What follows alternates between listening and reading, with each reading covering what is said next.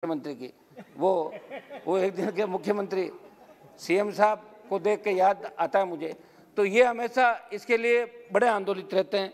तो हमारी सबकी भावनाओं को ध्यान में रखते हुए इन बहनों के लिए कुछ न कुछ अच्छा काम प्रधानमंत्री जी करे ये मेरा निवेदन है। धन्यवाद। हनुमान जी।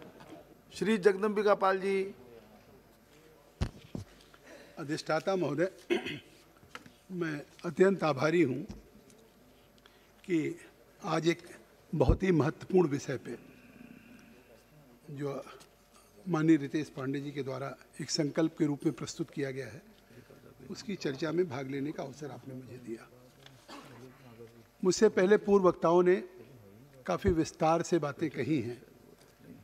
उस संबंध में हमारी सरकार भी इस आंगनबाड़ी कार्यकर्ता या सहायिकाओं के न केवल उनके महत्व को रेखांकित करती है, न केवल उनके दायित्व को या उनके उस कर्तव्य के बोध के साथ साथ उनको जिस तरह से पिछले दिनों से लगातार सरकार ने एक मज़बूत उस भारत के गाँव में रहने वाली महिलाएँ या बच्चे जो कुपोषित हैं, स्टंटेड हैं या गर्भवती महिलाएँ हैं, उन बच्चों को, महिलाओं को किस तरीके से उनको न्यूट्रिशन के संबंध में, इम्यूनाइजेशन के संबंध में या कुपोषण से एक स्वस्थ माँ और एक बच्चे को तैयार करने में इस आंगनबाड़ी के केंद्र की भूमिका को निश्चित तौर से पिछले कुछ वर्षों में विस्तारित किया गया। और आज पूरे भारत में एक तरह से ग्रामीण माँ और बच्चों के देखभाल का एक केंद्र बन गया है। और उसी नाते आज भारत सरकार ने पहले तो ये इंटीग्रेटेड चाइल्ड डेवलपमेंट सर्विसेज़ के अंतर्गत आता था, लेकिन ये पहली बार हमारी सरकार या प्रधानमंत्री जी ने यह तय किया कि हम केवल माल न्यूट्रिशन या चाइल्ड हंगर के बच्चों को उस दिशा में, उनको स्वस्थ करने की दिशा में आंगनबाड़ी केंद्रों से आंगनबाड़ी सहायिकाओं और कार्यकर्तियों से काम लें। उसके बजाय इन आंगनबाड़ी केंद्रों को एक सक्षम आंगनबाड़ी केंद्र और पोषण अभियान टू में जोड़ा गया। तात्पर्य है, जैसे पूर्व वक्ताओं ने कहा कि अभी तक आंगनबाड़ी केंद्र जो थे वो कहीं पे दूर थे, जहाँ पे उसकी कोई उपयोगिता नहीं थी, कई घटनाएँ मैं उसका उल्लेख नहीं करूँगा कि दीवार गिर गई, सात बच्चों की डेथ हो गई, एक बार दो बच्चे आंगनबाड़ी केंद्र के पास से तालाब में डूब गए। आज सरकार ने यह तय कर लिया कि अब हम आंगनबाड़ी केंद्रों को अपने स्कूल के ही कैंपस से जोड़ने का काम करेंगे, जिससे जो पोषण अभियान दो है छः महीने से छः साल तक के बच्चों को, तीन साल तक के बच्चों को, तीन से छः साल के बच्चों को। उनको एक आंगनबाड़ी केंद्र की टीचर्स को ट्रेंड करके, उन महिलाओं को ट्रेंड करके, और बच्चों को जैसे जो खेलने की उम्र होती है, उनको किस तरीके से काम किया जा सके, ये एक बड़ी योजना बनाई है। तो इससे साफ़ हो गया कि आंगनबाड़ी की महिलाओं की भूमिका दिन ब दिन बहुत महत्वपूर्ण होती जा रही ऐसे तो ये काम 1975 में शुरू हुआ। और 1975 में उस समय बेसिक था कि गाँव में माल न्यूट्रिशन या चाइल्ड हंगर के लिए ये विभाग बनाया जाए लेकिन फिर 1978 में जब मुरारजी देसाई जी प्रधानमंत्री थे तो इसको डिसकंटिन्यू कर दिया। देश के उन गाँवों में, छह लाख गाँव में। लेकिन मैं आज धन्यवाद दूँगा कि उस समय भी 2002 में फिर अटल बिहारी वाजपेयी जी ने इसको टेंथ फाइव ईयर प्लान में फिर से रीलॉन्च किया कि देश की महिलाओं को और बच्चों को कुपोषित के काम को दूर करने के लिए इस आंगनबाड़ी केंद्रों को फिर से जीवित करने का काम किया, जो आज इतना विस्तारित हुआ। और जिस काम को आज प्रधानमंत्री श्री नरेंद्र मोदी जी कि जो उन्होंने उस समय शुरू किया, और उस समय अटल बिहारी वाजपेयी जी का ये था कि जो आईसीडीएस है, उसको लिंक किया आंगनबाड़ी के साथ और उसमें भी फोकस किया। कि girl child this is when ICDS was linked to the Anganwadi with a focus on girl child by providing girls the same resources as boys. आप इस देश की मानसिकता जानते हैं कि आज के 40 साल पहले 50 साल पहले बच्चे पैदा होते थे तो कितना महत्व रहता था गाँव में। घरों में खुशियाँ मनाई जाती थी, थालियाँ बजाई जाती थी। अगर कहीं बेटी पैदा हो गई तो घर की महिलाओं के जैसे चेहरे उतर जाते थे। तो उस समय भ्रूण हत्या, उस समय जिस तरीके से एक भेद था, उस भेद को दूर करने के लिए अटल बिहारी वाजपेयी जी के मन में आया कि इन आंगनबाड़ी केंद्रों को उन गर्ल चाइल्ड के लिए भी एजुकेट करने का काम, उनको स्वस्थ रखने का काम या बच्चों के, लड़कों के बराबरी का स्थान देने का काम, उन लड़कियों पे फोकस किया जाए, इन आंगनबाड़ी केंद्रों से जोड़ने का काम किया। और आज इसीलिए जहाँ 2013-14 में 16,312 करोड़ का बजट था। आज मैं धन्यवाद दूँगा कि इस पे 2020-21 में बीस हज़ार तैतीस करोड़ का बजट हुआ है। लगभग चार हज़ार कुछ करोड़ को बढ़ाया है। तो निश्चित तौर से कितना बड़ा फोकस है कि हम हमारा हर बच्चा हमारी हर बच्ची जो पैदा हो वो कुपोषित ना हो या माँ भी स्वस्थ हो जच्चा बच्चा दोनों स्वस्थ हों। तो इसलिए और वो सक्षम आंगनबाड़ी जो मैंने कहा और पोषण अभियान के लिए, सक्षम आंगनबाड़ी वही है जैसे हमारे टेनी मिश्रा जी ने कहा और लोगों ने कहा कि आज आंगनबाड़ी केंद्रों में जो दूर थे, न वहाँ पे पानी पीने की कोई सुविधा थी, न कोई टॉयलेट की सुविधा थी, न कहीं कुछ थी। आज एक फैसला लिया गया कि Anganwadi centres will be strengthen with high quality infrastructure, play equipments, and would be made well ventilated, well design and child friendly. मतलब हम उस स्कूल को जैसे एक ऐसा घर जैसा माहौल दें कि जो बच्चा अपने को घर में जिस तरह से माँ के साथ फ्रेंडली महसूस कर रहा हो, उसी तरह से उस आंगनबाड़ी के केंद्र में आने के बाद भी वो चाइल्ड फ्रेंडली हो, ऐसा आंगनबाड़ी केंद्र बने, काफ़ी अच्छा डिजाइंड हो वेंटिलेटेड हो और सारी चीज़ों के साथ हो। और इन आंगनबाड़ी वर्कर को पहली बार, मैं मंत्री जी को बधाई दूँगा कि पहली बार E C C E early childhood care and education की ट्रेनिंग आंगनबाड़ी की महिलाओं को देने का काम हमारी सरकार ने शुरू किया तो निश्चित तौर से इससे एक क्वालिटेटिव चेंज आएगा कि आज वो जो हाई स्कूल पास होंगी, आंगनबाड़ी वर्कर्स वो एक टीचर के रूप में टेन प्लस टू होंगी, उनको एक छः महीने का सर्टिफिकेट प्रोग्राम दिया जाएगा। उस छः महीने के सर्टिफिकेट प्रोग्राम के बाद वो केवल उनको पुष्टाहार नहीं देंगी या केवल एक न्यूट्रिशन के लिए जो पुष्टाहार है या रेडी टू ईट है, वही केवल खिलाने का काम करेंगी या बल्कि एक टीचर के रूप में, क्योंकि तीन साल की उम्र तक तो कोई पढ़ाई होती नहीं। उन बच्चों के साथ उनका मानसिक जब दिमाग दिमाग उनकी तेज़ी से विकास की ओर रहता है तो कम से कम किसके साथ है? तो मैं समझता हूँ कि ये एक ट्रेनिंग प्रोग्राम शुरू किया। और जो हाई स्कूल से कम होंगे, उनके लिए भी हुआ कि उनको एक साल की डिप्लोमा कराएँगे, इसको सर्टिफिकेट देंगे, जिससे कि कम से कम वो उन बच्चों के साथ उनके विकास में भागीदार बन सके। और ये प्रोग्राम जो है, इस प्रोग्राम को भी जैसे और प्रोग्राम्स किए गए these programmes may be run through digital and distance mode using D T H D T H channels as well as smartphones also smartphone भी देने का जो कल्पना थी उससे साकार हो रहा है। या जो डी टी एच चैनल है, उसके माध्यम से भी पूरे देश में। तो आप सोचिए कितना फोकस्ड है कि हम आंगनबाड़ी की उन महिलाओं को हम एक टीचर के रूप में उन बच्चों के साथ फ्रेंडली कर सकें, इस तरीके से किया गया। और आज ये तय हो गया कि जो आंगनबाड़ी केंद्र अभी तक स्टैंड अलोन है, उन आंगनबाड़ी को लोकेट करके प्राइमरी स्कूल्स में करेंगे और उन वर्कर्स टीचर्स को जो होगा worker teacher specially train in the curriculum and pedagogy इसी ईसीसी तो इस तरीके से होगा। और आज उस आंगनबाड़ी का लाभ भी मिल रहा है। आज हमने आंगनबाड़ी की, का जो विस्तार किया है, वो निश्चित तौर से देश के सभी गाँव में, देश के सभी मजरों में किया। और आज उसी की देन है कि 2020 तक 8 करोड़ 55 लाख बेनिफिशरीज लाभार्थी हो गए हैं। मतलब ये हमारी गर्भवती महिलाएँ, बच्चे, जिसमें चिल्ड्रन जो छल के हैं, वो छः करोड़ छप्पन लाख होंगे।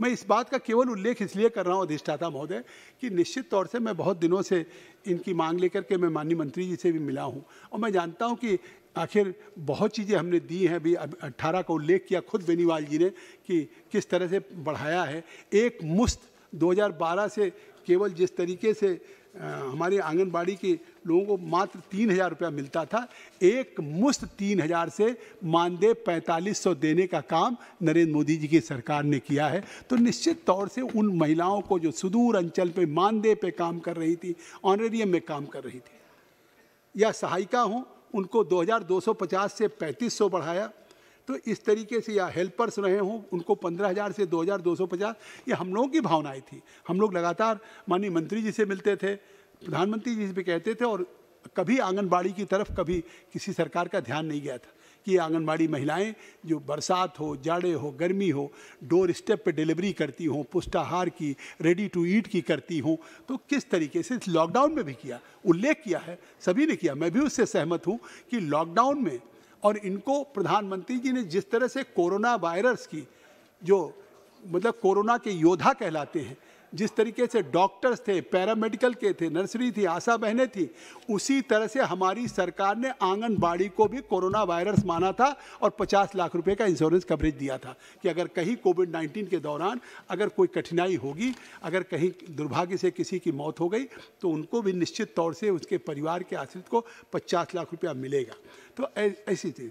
तो इसलिए मैं कहना चाहता हूँ कि जहाँ इनका दायित्व ये बढ़ रहा है पहले भी आंगनबाड़ी के काम, केवल आंगनबाड़ी का काम पुष्टाहार तक नहीं है।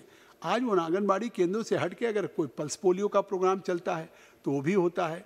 कभी जब जनगणना का कार्यक्रम होता तो उस कार्यक्रम में भी लगाई जाती है। बातें मैं इसलिए माननीय मंत्री जी को ला रहा हूँ, संज्ञान में कि जानती हैं, लेकिन किस तरीके से राज्यों को, किसी राज्य का मानदेय कहीं कितना है, किसी राज्य का मानदेय कहीं कुछ है तो इसको किस तरीके से इसमें एक रूपता लाई जा सके क्योंकि आज जब इतनी बड़ी भूमिका है कि आज छः करोड़ छप्पन लाख बच्चों को आज ये सीधे आंगनबाड़ी की महिलाएँ, उनके बीच में उनके कुपोषित या उनके चाहे प्रेग्नेंट महिलाएँ हों लैक्टेटिंग मदर्स हों, दूध पिलाती हुई, वो करीब एक करोड़ अड़सठ लाख हैं, इनके बीच में वो काम कर रही हैं। तो इनको निश्चित तौर से किस तरीके से राज्यों के माध्यम से इसको और किया जा सकता क्योंकि आज इनकी अब भूमिका कम नहीं हो सकती।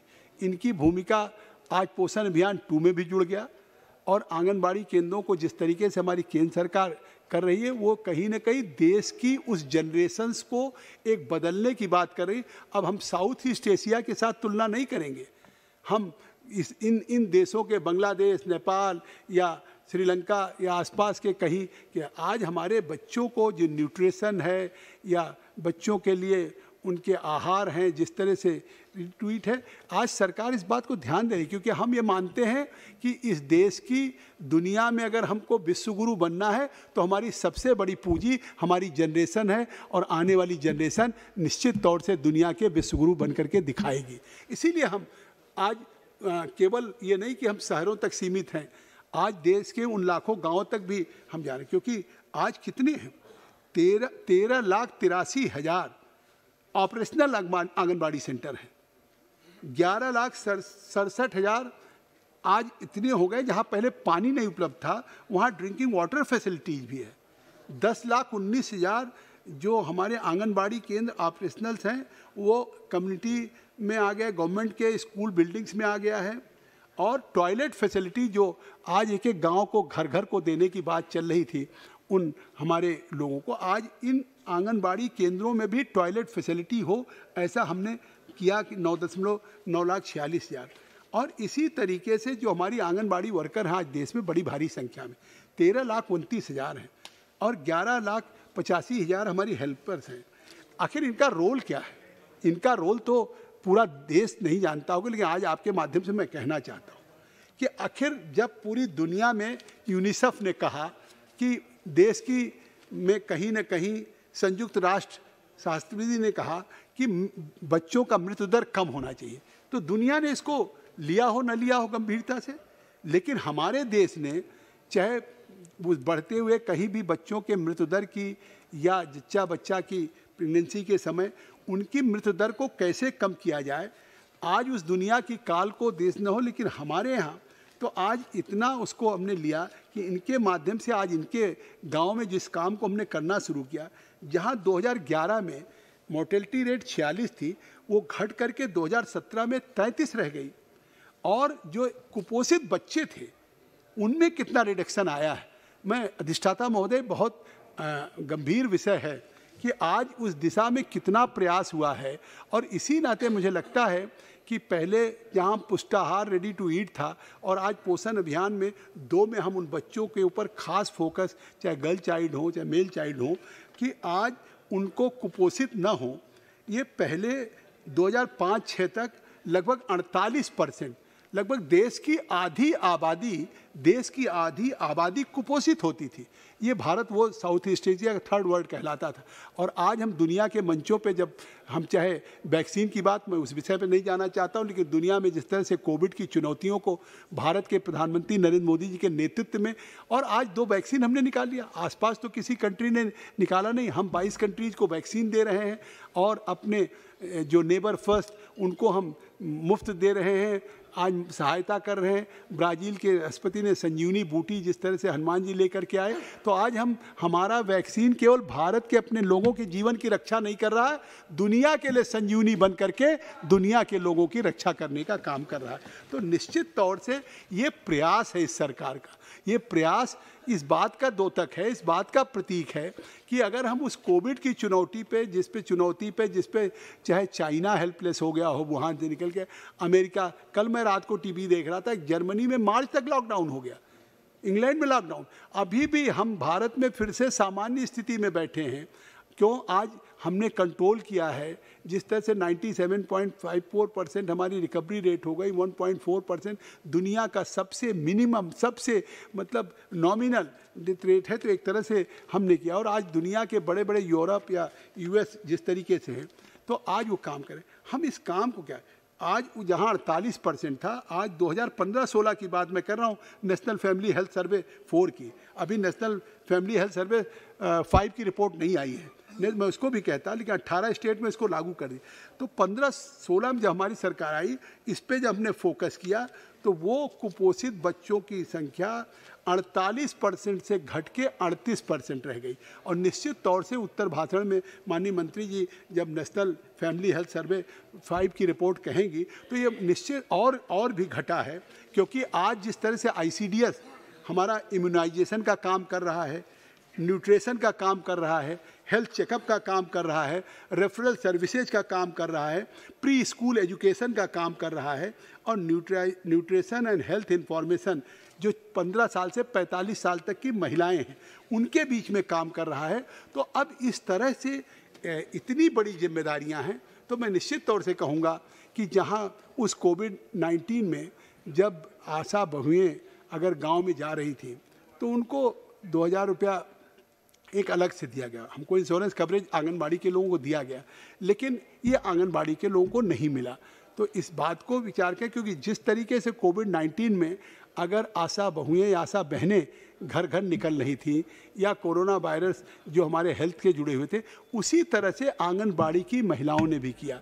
तो आज उनको भी उस तरीके से अगर होता तो एक निश्चित तौर से उनका होना चाहिए, क्योंकि आज उस लॉकडाउन में भी जो आंगनबाड़ी सेंटर्स ने किया है कोविड नाइन्टीन का, कि functioning of anganwadi centres during covid nineteen distribution of food items and nutrition supported by anganwadi workers once in a fifteen days at the door step of beneficiary मतलब आंगनबाड़ी केंद्रों पे नहीं, बल्कि आंगनबाड़ी केंद्रों से निकल करके हमारी आंगनबाड़ी की बहनें, हमारी सहायिका, उस लॉकडाउन के दौरान भी उसी तरह से कोरोना के योद्धा की तरीके से लोगों के घरों पे जा कर के जहाँ गर्भवती महिलाएँ थी, उनके बीच में या जहाँ छोटे बच्चे थे, उनके बीच में जा कर के और जिस तरह से रेडी टू ईट या पुष्टाहार या अनाज बांटने का काम किया है अधिष्ठाता महोदय, मैं निश्चित तौर से इस सदन के माध्यम से अपनी उन आंगनबाड़ी की बहनों को भी बहुत बहुत बधाई देना चाहता हूँ।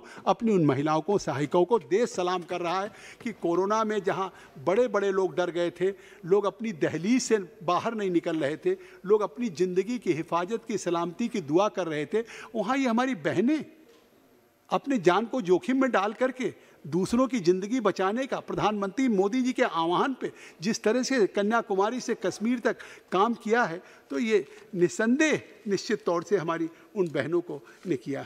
और आज जिस तरीके से हमारे इस पोषण अभियान में हमारे मंत्री जी ने, विभाग ने 10 लाख बाईस हज़ार वर्कर को, आईसीडीएस के उनके मतलब फंक्शनरीज को वर्कर्स को 2020 के दिसंबर तक ट्रेंड कर दिया गया। उनकी कैपेसिटी बिल्डिंग भी हो रही है। आखिर ये गाँव में कभी इनको कोई जाता था? ये आंगनबाड़ी के नाम पे एक ज़माना था कि किस तरीके से वो महिलाएँ उसी केंद्र पे रहती थीं। लोगों को लगता था कि पुष्टाहार नहीं पहुँच रहा है, पुष्टाहार भी था तो वो स्टेट लेवल पे जिस गुणवत्ता का होना चाहिए था, वो गुणवत्ता नहीं था। आज ये कोशिश होती है यहाँ से जिस तरह से, क्योंकि फेडरल स्ट्रक्चर में हम रह रहे हैं, लेकिन मैं कहना चाहूँगा कि आज उस संघीय ढांचे में एक सेकंड जरा रुकिए बस। नौ बज रहे हैं। सदन की सहमति हो तो दो घंटा समय बढ़ाया जाए अभी बाद में फिर देखेंगे जैसे आवश्यकता होगी। बारह बजे बारह बजे तक कर दीजिए। बारह बारह। एक सेकंड। ये इस इनको इनको जो है हाँ, पूरा कर पूरा लेने करने इनको पूरा कर लेने दें फिर आगे कर लेंगे उसको। ठीक है जी? हाँ। ठीक है पाल साहब।